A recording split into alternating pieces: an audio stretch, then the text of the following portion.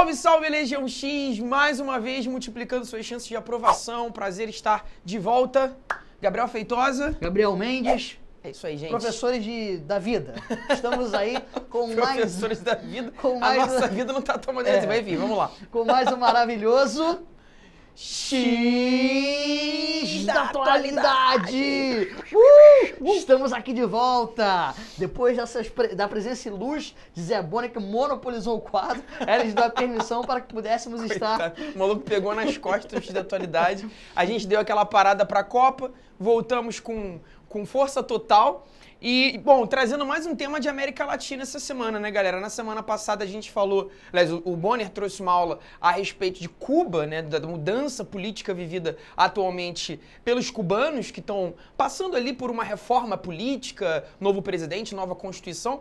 E hoje nós vamos falar da Nicarágua, galera. Vamos falar, né, dessa crise vivida na Nicarágua, não é isso, Mendes? E como a gente sempre faz aqui, ainda mais estando dois professores de história, a gente É. vai entender o contexto histórico até o atual presente momento. Que sempre fica mais fácil entender o processo para a gente entender esse, essa conjuntura específica pelo qual vem passando a Nicarágua. A Nicarágua tem sido alvo de protesto nos últimos quatro meses, pelo menos, dentro do governo do, al- do- do alto- atual presidente e grande protagonista da revolução que a gente vai acompanhar nesse país, Daniel Ortega, e a gente vai entender, primeiro, como se deu esse processo até a sua chegada ao poder e finalmente entender qual é exatamente o fruto desse protesto e as possíveis consequências Pois é. desses protestos na- nesse país importante da América Central, Sim. importantes em termos econômicos e principalmente em termos ideológicos, né? dentro de um certo pensamento na América Latina. A Nicarágua carrega, a gente vai entender muito bem isso, um certo sentimento de libertação ou pelo menos de enfrentamento ao grande imperialismo norte-americano nessa região. Pois é. É só pra você se situar, tem aluno que de repente não tá sabendo. Galera, Nicarágua tá vivendo hoje uma grande crise humanitária. né? Já estamos ali em vários protestos no país, já passou de 400 o número de mortos, enfrentamento da polícia em relação a, a estudantes e tudo mais. A gente vai tentar entender por que disso. E como o Mendes bem colocou, Vamos voltar um pouquinho no tempo, porque não é preciosismo. O cara pode estar achando, caraca, os caras de história vão ter que falar lá da pré-história pra falar da atualidade. Gente, é legal você ter referências da, da Nicarágua no século XX, porque isso vai te mostrar um pouco do que está acontecendo hoje. O atual presidente da Nicarágua, ele viveu um momento importante do país no passado e carrega de fato essa história. É a chamada Revolução Sandinista de 1927, do iníciozinho né, do século XX, ali da segunda década do século XX, que tem como esse rapaz aqui o Augusto César Sandino, grande herói, por isso Revolução Sandinista, não é isso? Um grande, na, na verdade, uma grande figura, né? É apontado, inclusive, aí por uma certa leitura da história latino-americana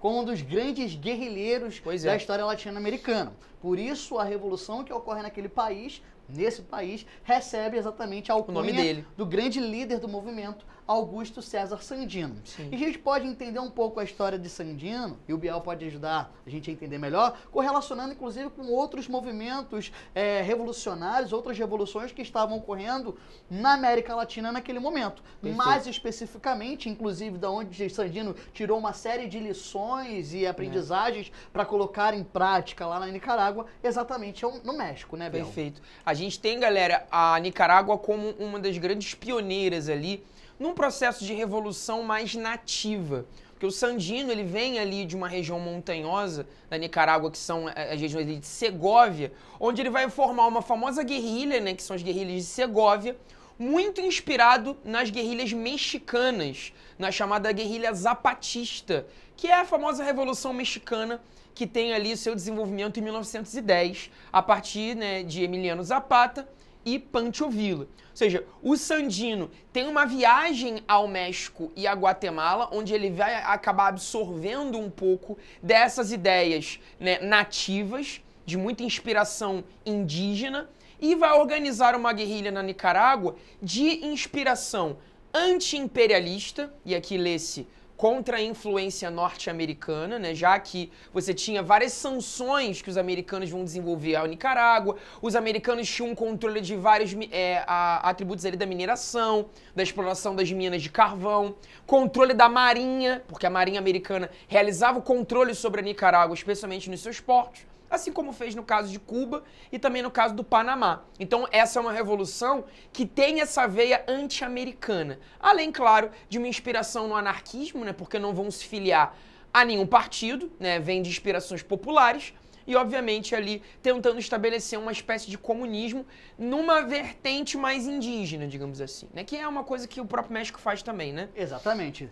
Inclusive, bom pontuar que o México, nesse momento, vai ser um dos grandes pioneiros no processo de uma reforma, reforma agrária Perfeito. mais popular, né? Perfeito. Que pretendia atender principalmente os anseios da população indígena expulsa dos seus espaços territoriais Certo. e também da população camponesa mais pobre, que também havia perdido seus espaços de propriedade, principalmente para empresas norte-americanas que faziam o controle da terra. Então vocês vão perceber que no caso da Nicarágua vai ser colocado em vigência um projeto político que é parecido. Sim. Quando a gente fala dessa ideia do comunismo, é justamente a ideia da desapropriação de grandes propriedades privadas, visando a distribuição. Minifúndio, né? Exatamente. Pequena propriedade. visando a, distri- a distribuição de terras para alcançar uma coisa que no Brasil a gente não conhece muito bem, né, Biel? Que é a tal da reforma agrária. Então a gente vai perceber É. que nesses países, uma das grandes motivações e uma das grandes vetores de mobilização vai ser justamente esse processo, ou essa tentativa, esse intento de se buscar o acesso à terra. Certamente. E aí o Sandino vai ter um papel fundamental nesse processo de mobilização, tanto dos grupos camponeses de origem indígena e principalmente na mobilização militar contra essa influência norte-americana e, obviamente, ali, aquilo que a gente chama dos governos eh, que são eh, eh, orquestrados pelos interesses norte-americanos. É, são testes de ferro, né? São governos implantados ali para representar interesses eh, exteriores. Isso acontece em Cuba no caso da emenda Platt, isso vai acontecer no Panamá no controle do seu canal, e a Nicarágua entrava né, nesse, nesse escopo de pequenas repúblicas sob domínio americano. A Revolução Sandinista, então, expulsa a presença americana do país. Você tem a expulsão da Marinha norte-americana. O problema é que em 34, né, em 21 de fevereiro de 34, há uma grande emboscada ao Sandino e ele é assassinado. A partir de então, né, essa revolução sandinista vai sofrer um grande freio, onde nós vamos ter a ascensão da família Somoza na Nicarágua, iniciando uma grande ditadura, uma longuíssima ditadura né, ligada a essa família, uma família local, que se, se estende do assassinato do Sandino em 34 até 79. O prim- Inclusive, é o próprio Ana- Anastácio Somoza que vai organizar a emboscada, emboscada. que vai levar à morte do Sandino. Bang bang, né? ela- exatamente. Faroeste a parada. E ele, diretamente influenciado e, e, inclusive, chefiado, e chancelado pelo, pelo governo norte-americano, visava, mais uma vez, instituir um governo pró-Estados Unidos. E foi a, a- a postura assumida pela família Somoza ao longo dos anos que eles permaneceram no poder. Sim, o Somoza vai governar ali durante. Não só ele, mas a sua família, né? Porque você tem representantes, filhos, primos e tal. Vai governar, né, a, a Nicarágua dentro dos tentáculos norte-americanos. E vamos lembrar, né? Aqui já perpassa o período da Guerra Fria, onde a Nicarágua vai se sustentando, né, como um ponto fundamental para não avançar os interesses socialistas sobre a América Latina, já que Cuba acabou caindo, né, para o RSS em 59. E Né? é bom fazer essa cronologia porque é interessante. O Sandino foi influenciado pela Revolução Mexicana para organizar uma guerrilha nas montanhas, que obviamente dificultava muito a organização das tropas regulares. Posteriormente, a Revolução Cubana será influenciada pelo movimento Serra guerrilheiro, Maestra. exatamente na, na, na Serra Maestra, em Cuba, influenciado pelo movimento sandinista. Sim. Então, esses movimentos ali na América Central, Tem um principalmente, diálogo. estão dialogando e essa influência, principalmente na questão geo- é, é, geográfica, vai Sim. permitir que esses movimentos, inclusive, consigam lo- lograr êxito durante todo o tempo. E, e isso, na- no, no- no- no sapato do, norte do, do- do governo norte-americano, é uma grande pedra, É. né? Que A- fica ali incomodando, até porque esses países estão muito próximos dos Estados Unidos. A grande diferença, aqui no caso da Nicarágua e também do México, a gente está falando de revoltas que não serão é, é, apropriadas pela União Soviética. Vão manter um caráter nativo, vão manter um caráter autônomo, diferente da Revolução Cubana, que começou como anti-imperialista, Porém, a partir de 61, acabou sendo ali sugada pelos interesses soviéticos e foi ali a- atendendo à agenda de Moscou. Então você vê, né? São casos parecidos, mas a Revolução Cubana tem um elemento totalmente próprio, porque se insere exatamente na bipolaridade. Coisa que o Sandino não viveu, porque ele viveu nos anos 30, não tinha bipolaridade ainda aqui, né? Isso é, é fundamental de perceber. Havia, havia, inclusive, nesse momento, ainda uma postura norte-americana que vai vigorar até um momento antes da, primeira, da, da, Segunda Guerra Mundial, que é a política do grande porrete, né? Big do Big Chic. Chic. Do Theodore Roosevelt, do primeiro Roosevelt, né? Principalmente nos, nos países da América Central, essa influência Caribe, militar Sim. norte-americana mais forte, ela vai ser muito mais sentida do que no restante da América Latina. Sem dúvida. Então, a- essa ditadura ela se estende até 79, né, da família Somoza. E a partir ali, você tem a formação da Frente Sandinista de Libertação Nacional, exata- FSLN. né? Exatamente, mais exatamente criado no ano de 1960. E 1960. aí é importante pontuar, influenciada diretamente pela Revolução Cubana. Isso, porque A já está inserido no contexto. assim. Exatamente. A criação da, da, da Frente Sandinista de Libertação Nacional, ela está diretamente influenciada pelo movimento bem-sucedido em Cuba. Então agora a gente vai perceber que a, que a diretriz ideológica do movimento sandinista, ele vai se radicalizar. Sim. Tanto é que a gente vai ver a apresentação de três frentes diferentes, e uma delas, inclusive, lideradas pelo atual presidente da Nicarágua, Daniel Ortega. O cara já é guerrilheiro nessa época. Exatamente. Vamos colocar aí 25 anos depois da morte do Sandino, o Ortega pega o protagonismo da, da guerrilha sandinista, inspirado na atuação desse cara. E pautado numa tendência bastante populista, que é um modelo de atuação do, do, do- do Ortega, inclusive, principalmente no seu, agora nos seus últimos governos. Ou seja, a mobilização popular, tomando o povo ali, se apropriando né, do povo, e obviamente o povo quando sendo como um grande vetor de pressão em relação à família Somoza que estava no poder, e a partir daí a articulação para o movimento revolucionário bem sucedido. A gente tem uma tendência também, que é uma tendência mais ligada ao movimento operário na Nicarágua, que também vai se juntar.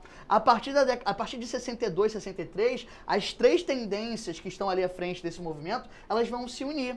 E a partir daí a gente vai perceber a frente, a frente sandinista ganhando uma projeção e ganhando uma força Se tornando um partido, inclusive. Exatamente. Virando um partido político. Inclusive, nós temos lá um que vai ser uma família que também vai assumir o poder, né? Chimorro, que um, um, um jornal, o Antônio Chimorro é um jornalista liberal que era muito influenciado, inclusive, pelos Estados Unidos, mas por fazer tantas críticas ao- à família Somoza, o governo norte-americano acabou até se afastando nesse momento. Então percebam que nós temos diferentes matrizes ideológicas Sim. que estão ali.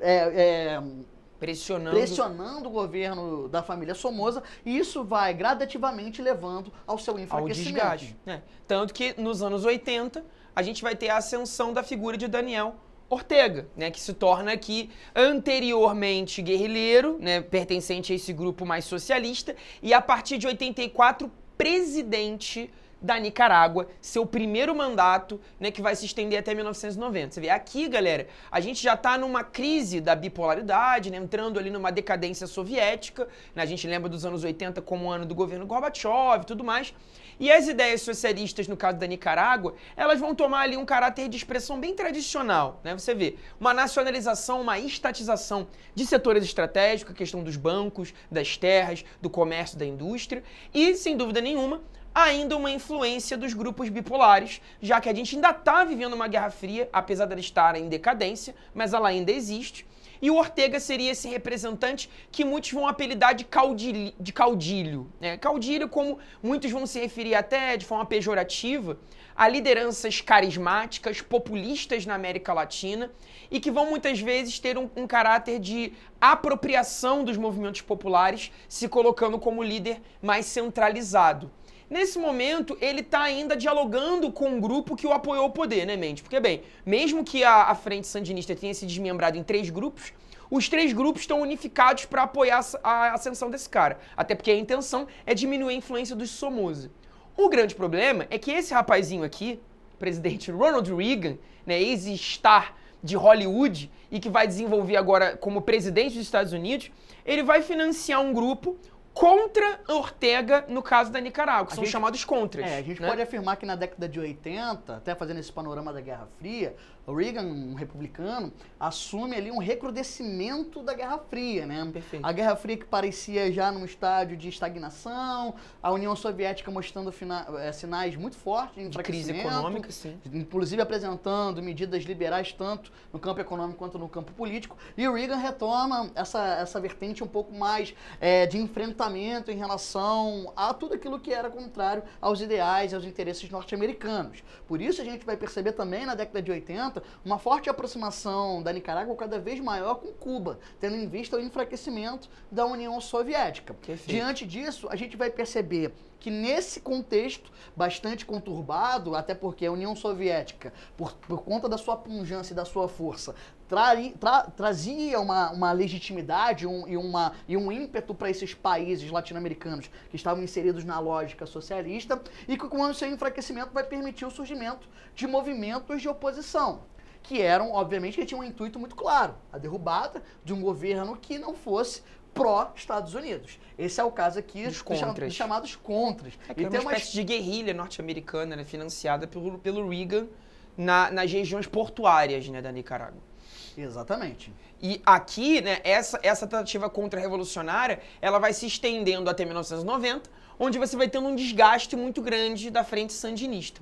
Isso acaba culminando com uma nova eleição. Em 1990, o Ortega é derrubado na nova eleição, ele não é reeleito. A frente sandinista perde seu poder e nós temos a ascensão de Violeta Chamorro, que é uma mulher considerada ali de centro-direita, centro-esquerda, uma política de caráter mais democrático, mais moderado, e que vai sofrer direta intervenção do, do governo à época, que será o governo do Bush pai, né, o George W. Bush, que será presidente naquele momento, representando ainda uma continuidade do Partido Republicano no poder. É, o governo Bush, que também é um governo é, republicano, também apresenta uma característica que a gente vai, vai perceber de bastante enfrentamento. A gente tem os Estados Unidos se envolvendo no final da década de 80, início da década de 90, em vários conflitos, inclusive a, A guerra guerra- do Kuwait, né? Nós temos o enfrentamento questão norte-americano. no Iraque, inicialmente Exatamente. começando ali já, né? Muito bem, ou seja, a questão do Oriente Médio ganhando cada vez mais projeção no campo da atuação política norte-americana. E ao mesmo tempo ele vai financiar uma eleição na Nicarágua. São 9 milhões de dólares investidos na eleição da Violeta Chamorro para desagregar a frente sandinista. né? Até final de contas, porque o movimento em Cuba, a, a, a, a- a política em Cuba estava muito bem estruturada ainda na figura de Fidel, o grande líder Sim. do movimento, e não parecia dar nenhum tipo de sinal de fraqueza, coisa que vai ficar evidente ao longo da década de 90, mas ainda assim contando com o seu principal líder, Fidel Castro, não vai permitir que, por mais que todos os embargos e bloqueios econômicos atingissem muito fortemente a ilha, que o movimento político ali se enfraquecesse.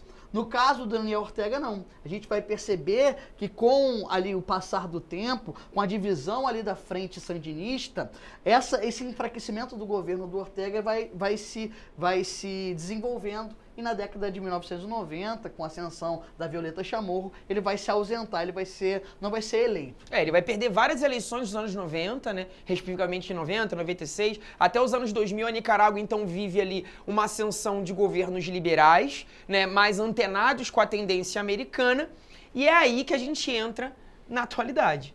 Mas e afinal de contas? E a Nicarágua contemporânea? Pois o é. que dessa Nicarágua atual nós temos ainda da influência do movimento sandinista Total. iniciado na década de 1970, mais exatamente em 1979? Pois é. Absolutamente tudo. Há uma É. grande influência, afinal de contas, um dos grandes líderes do movimento, o Daniel Ortega, volta ao poder em 2006. Pois é. Ah, mas profs, por que, que ele volta ao poder?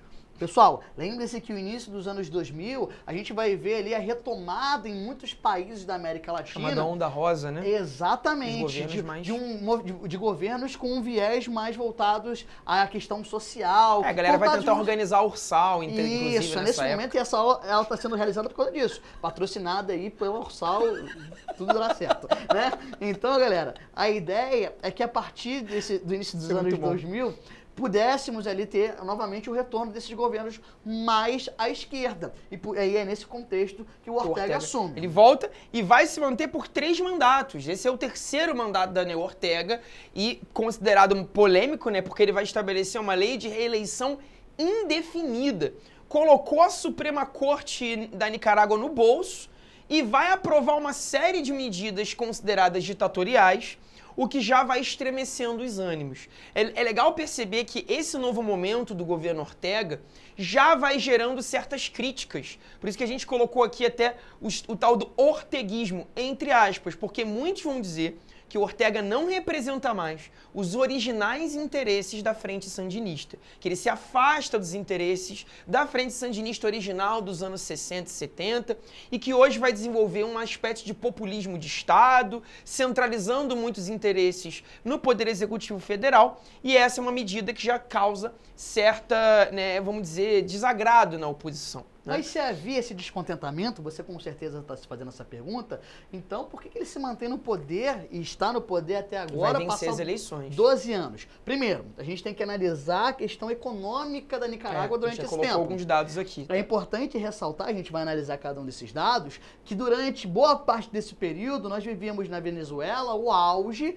do governo do Hugo Chávez, o auge da economia chavista, o auge da economia venezuelana que vai ali chancelar lá, que vai ali. Há uma aliança. Exatamente, Sim. apoiar diretamente o governo de Daniel Ortega. Então a gente tem, inclusive, eh, no, no, nas reportagens, nos artigos que nós lemos, muitos é, cientistas políticos analisam isso, que a manutenção do Ortega durante tanto tempo, ela ocorreu justamente por conta desse apoio financeiro dado pela Venezuela, que fez com que principalmente os empresários da Nicarágua fechassem os olhos algumas medidas é, efetuadas pelo Daniel Ortega que eram mais autoritárias. Sim. A partir do momento. Que receberam apoio do governo e puderam lucrar. Exatamente. Sim. A partir do momento que a gente vai percebe o um enfraquecimento do governo venezuelano, a gente também vai ver a Nicarágua sendo atingida.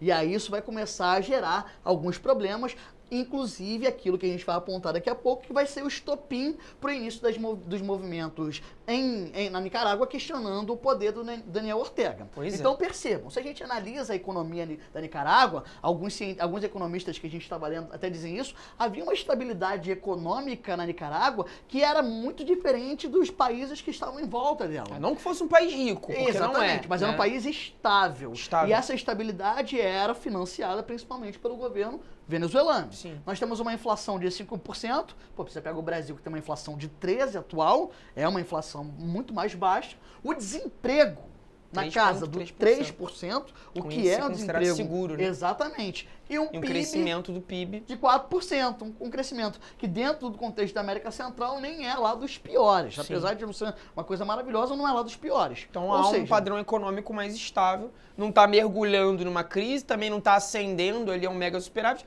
num milagre econômico, mas está passando ali por um governo de certo controle e isso vai gerar certas críticas da oposição que argumenta que para manter esses índices, o governo Ortega teve que conceder ali certas regalias aos setores é, financeiros. Então, muitas medidas consideradas liberais na economia, onde você vai perceber uma política de privatizações, concessão de terras a determinados grupos empresariais. Nós já até temos, inclusive, um X da atualidade aqui, bem antigo, mas que vale a pena você dar uma observada, a respeito do canal da Nicarágua, que é um empreendimento ali que vem sendo muito né, tentado a ser desenvolvido pela China onde a China objetiva a construção de um canal que atravessaria a Nicarágua, conectando o Atlântico ao Pacífico. A resposta ao canal do Panamá, né? Uma resposta, é, uma, uma tentativa de integrar o comércio do Pacífico Exatamente, é só que num canal controlado pelo governo chinês. Ou seja, a gente sabe, Thiago, tem essa aula maravilhosa sim, gravada sim. aqui. Dá uma olhadinha lá. o canal da Nicarágua, vale que é um projeto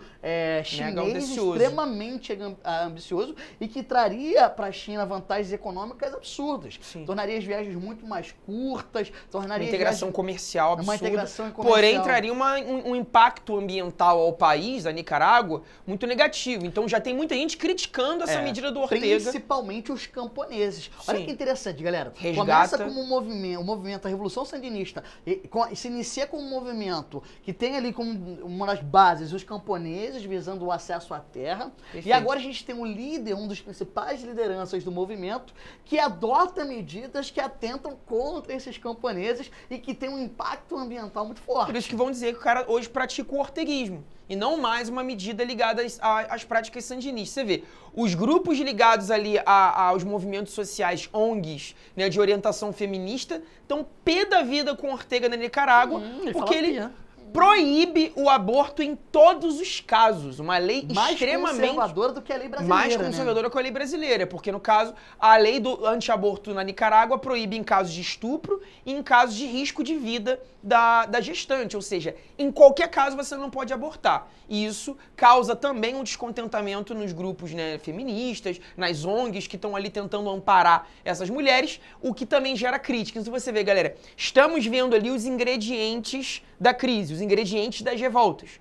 O grande estopim veio agora em abril né, de 2018, onde você tem uma tentativa de reforma da Previdência, do que seria o INSS deles, E né? é interessantíssimo, porque todos esses movimentos, a gente pode fazer inúmeros X de atualidade, inclusive, discutindo esses debates, que estão sendo colocados em pauta pelos parlamentos e pelos governos na América Latina, de modo geral. A gente passou por uma reforma a agora gente, da A gente está Previdência. sentindo também um pouco Sim. essa, essa... é Um pouco não, né? Estamos sentindo Bastante. bastante.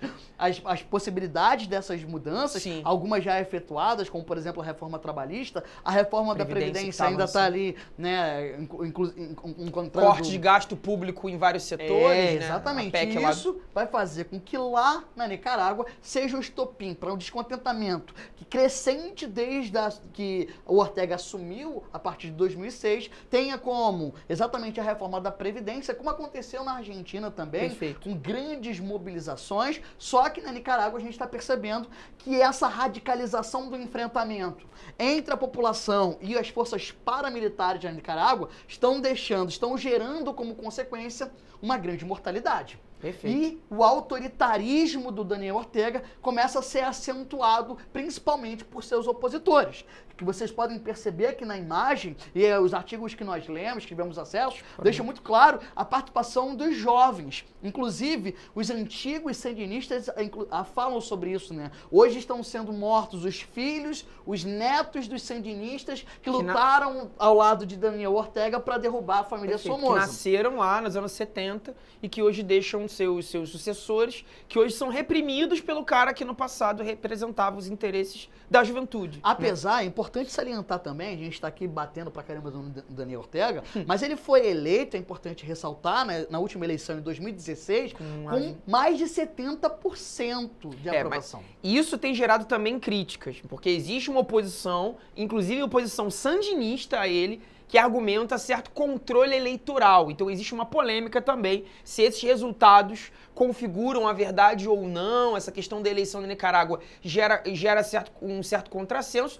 E o fato dele ter grande controle sobre a Suprema Corte também vem gerando esse, essas desconfianças. Mas enfim, são aberturas de oposição, né? A gente não É, vai aqui Essas bater discussões- martelo e dizer que a eleição Essa- é ou essas não é. discussões, né? elas são, são, Estão sendo sempre- abertas. Estão sempre ali em torno, principalmente quando se tratam de governos de caráter mais socialista ou mais à esquerda, né? Sim. Parece que é, a questão eleitoral é sempre manipulada, enquanto nos países que têm uma característica mais democrática, o processo de manipulação Não ele ocorre. inexiste, né? Então a gente tem que ter cuidado também quando a gente É. faz essas, esses, essas... É, ninguém contesta certas lideranças europeias que já estão no poder há 10, 15 É, anos. da Angela Merkel ninguém contesta, ninguém contesta a eleição nos Estados Unidos de Donald Trump, etc, É etc. complicado. Mas, Mas existem críticas. exatamente. E você vê, pô, uma reforma que começou no caso da Previdência, que causou descontentamentos, que teoricamente atingiria os mais velhos, né? Porque você aumentaria em 5% a contribuição para a Previdência e aumentaria também a idade para aposentar. Aí atingir essa rapaziada Atinge aí, essa rapaziada. Ou seja,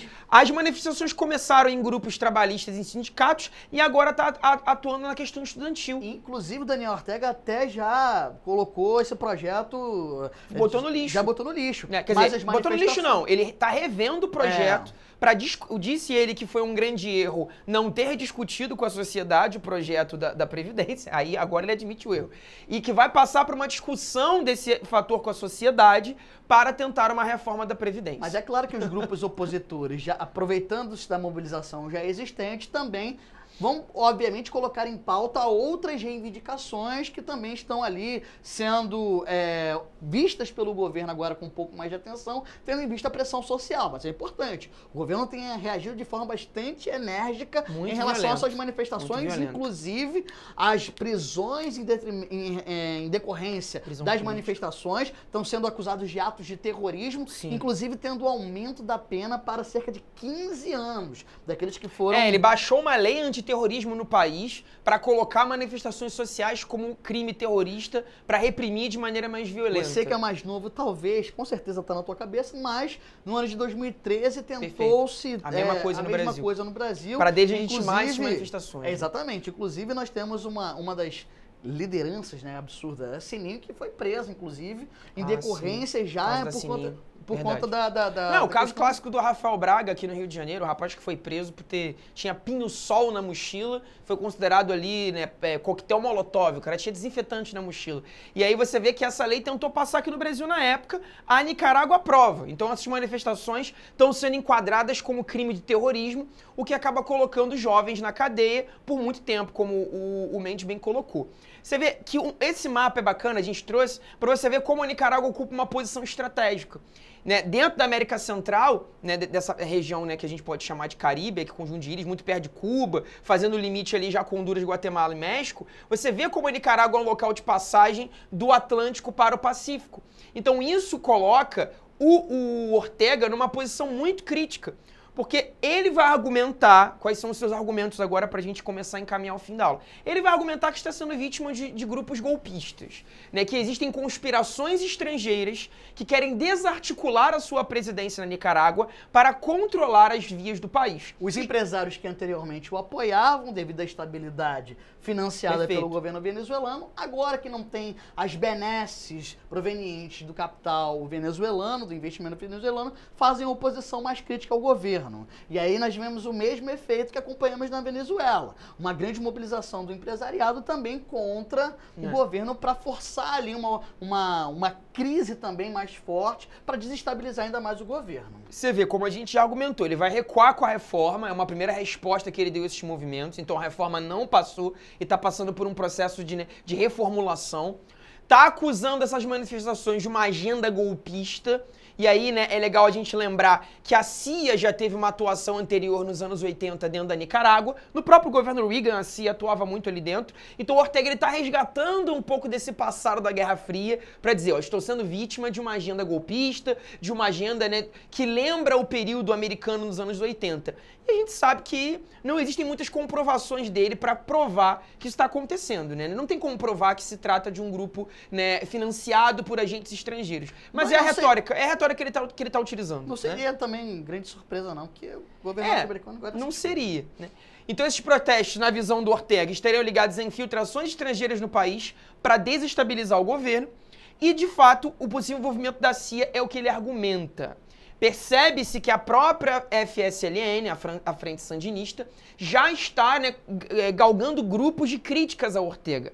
A- os próprios setores mais progressistas da Igreja Católica não estão muito contentes com ele, né? Ele, te- ele teve ao longo da vida um, um certo apoio dessa frente católica progressista, que não mais apoia o Ortega. E o catolicismo é muito importante na Nicarágua, né, gente? É, um- é um- é uma veia política fundamental. Grandes intelectuais da Nicarágua né, têm sua ligação direta com o catolicismo, né, jesuítas, escritores, poetas, né, cronistas. E essa galera, essa elite intelectual, não está mais fechando com o governo. O que mostra uma abertura para negociações. Hoje a Nicarágua está tentando estabelecer essas negociações, mas os protestos avançam. E de forma bastante violenta e de, de- de uma forma bastante autoritária também, o, o Daniel Ortega tenta resgatar sempre esse, esse passado sandinista, obviamente, é. para legitimar as suas é. próprias ações, tendo em vista que dentro do senso comum ainda o movimento e a figura do Sandino, para a gente fazer o link lá com o início da aula, ainda seja Ainda ali um norte para as ações do próprio governo da Nicarágua. Perfeito. Esperamos tê-los ajudado É aí, com, esse, com essa aula, né? Não apenas sobre Nicarágua, mas sobre a América Latina, porque falamos de México, Cuba, Pois é. Venezuela. Deu pra e que você se inscreva no canal, dê like e fique sempre conosco. Até a próxima semana. Valeu. Beijos!